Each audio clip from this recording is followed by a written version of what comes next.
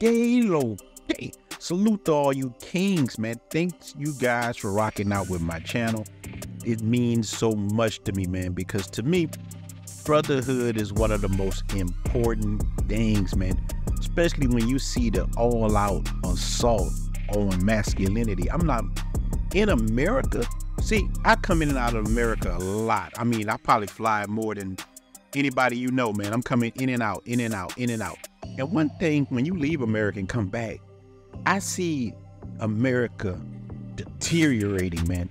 And you you see that there's an attack on like straight males. If you're a straight male, man, you're no longer needed in the community. They don't want you. They don't. I'm telling you, man, our whole system is deteriorating because you need men or the builders. And when you don't have men there, you start to have these kind of problems that we having. So many of you guys have been sending me these articles about the ladies in Bali getting arrested, what I think about Black Girl Magic. I just think typical. Listen, on my flight back to the States, I gotta have foot surgery. Many of you guys know this. Look, one of these sister girls missed her plane and went the hell off. It was so embarrassing. I'm just looking at her, just like I, I, give her this look, and they end up taking her to the back. I don't know what happened, but it was embarrassing. But it made me think about the the lack of accountability. That's all it is. And it's just not just a sister girl thing because many women have the same thing in the States. They have been treated like Disney princesses so long they can do anything they want. But you as a man have been under attack. You can't do nothing. You know, I told one of my nephews one day he acting crazy. I said, all right, keep acting crazy. Watch what happened to you. You're not a woman. They'll let a woman get away. A woman can say anything. You see right now, man, all these men, dead. what, Vin Diesel, academics, Puffy, anybody. It just, it, can be anybody. They can bring bring up something happened 50 years ago. I did the Cosby. Not saying a person innocent or guilty, but it got, it got to be limitations.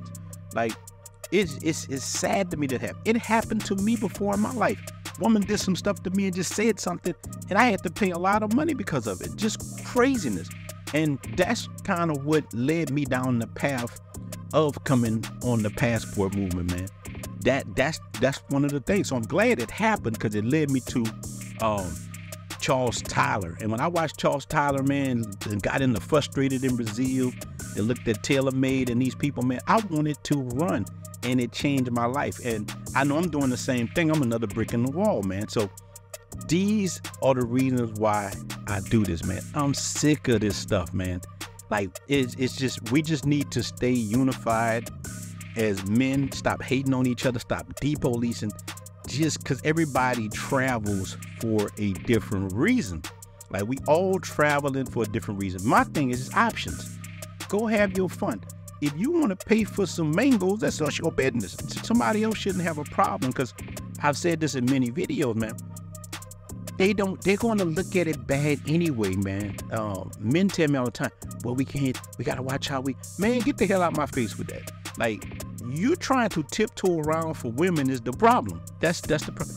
Sister girls don't care about what we think of them. They do whatever they want. They they are they are free to do whatever they want we have to be free too this is how you fix things man as men we come together get off that race stuff as men because we all under attack I push brotherhood. I don't care what color you are, man. We got to ride together as men and get, and by us unifying, that's how you can fix certain elements of the community or do like a lot of us did, go build communities other places. and that's these things that, that you have to do, man. But looking at it, I thought that was typical that these girls would go there and act like that because I, I seen it all my life. I've just seen women act like that. They just do anything they want and nothing happens to them. Right now, a woman can say she's pregnant for you. You could be put on child support in certain states without no DNA test or nothing. And even if the baby not yours, you might still pay child support. I know men who, who, who this has happened to. These are the things that make men start to go off, man, and make men act like that. So that's like I know with me, man. I'm telling you, I, I, you've heard me talk about like being depressed before. I was depressed, man. Look, I went through all different kind of movements. Looked into the pro-black movement, the manosphere. Looked into all those different movements.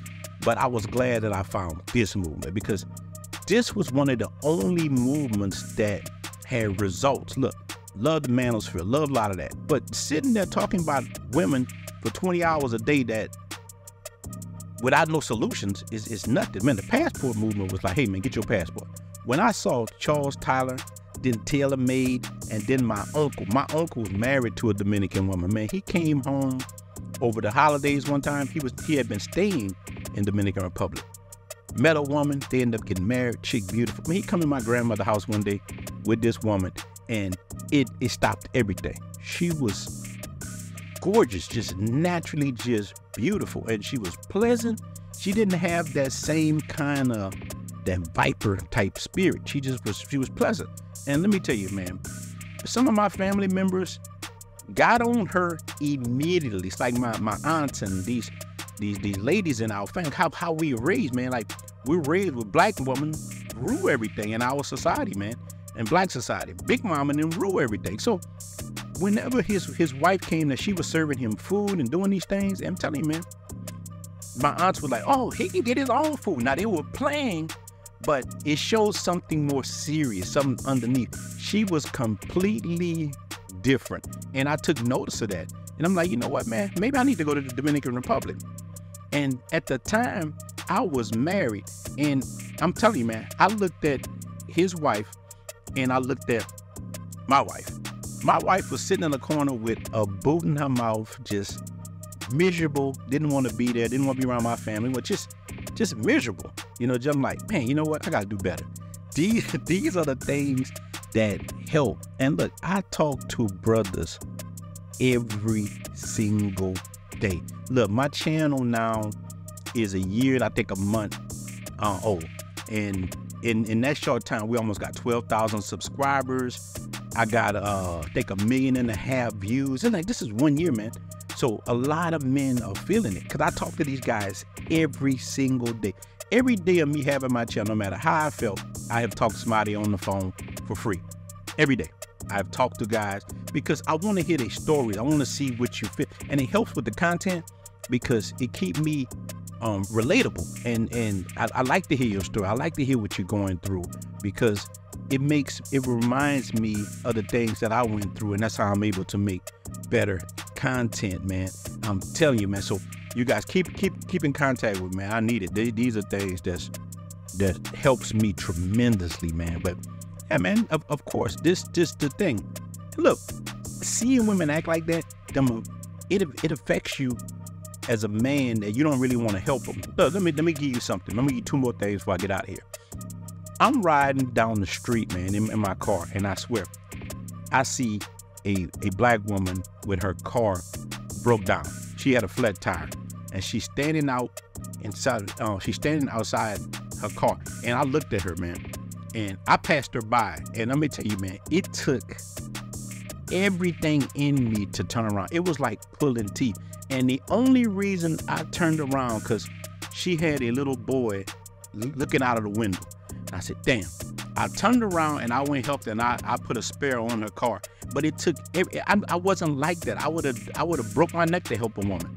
But this these things is this this this it, it, it just driving me crazy now. I just like almost I ain't gonna say I I just dislike what's a lot of how a lot of women act, and it took a lot for me to help her, but I did help her. And give you something else. This happened um, actually a few weeks ago when I was in the states. Me and one of my boys, I go to go visit him, and he lives in this nice condo, doing real well a woman get in the elevator, black chick, and I didn't even speak to her. I don't even speak to women like that, man. I know this video different and I'm saying things, but I don't, man, it just, United States, I don't even speak to women like that when I'm in the States. Look, he's a very pleasant person. He said, hey, my sister, how you doing? She opened that paper and popped it. Didn't say one word. I didn't speak to her. And it hurt him real basic. Man, what's wrong with her? I said, man, she thinks she better than you. That's what it. That's what it all boiled out. Even though he live in the same building as her, it's expensive building. He's doing good financially. She looked at him and saw a peasant. And that's how a lot of these women is. And shout out to the women that's not like that. I do meet women that's not like that. But man, I'm gonna tell you, dude, man, stay consistent, man. Stay working with the brotherhood. Get yourself together. all you dudes that's going through divorce and you got heartache right now and you're worrying about it, man, be thankful you're getting away from Shirley. And that's what Big Shirley is to me. Big Shirley just that attitude, man, that it's just it's not really a racial thing because I've met white women like this too. But man, that Big Shirley, get away from them. Like, run. This how you fix stuff, man. You gotta let it burn down.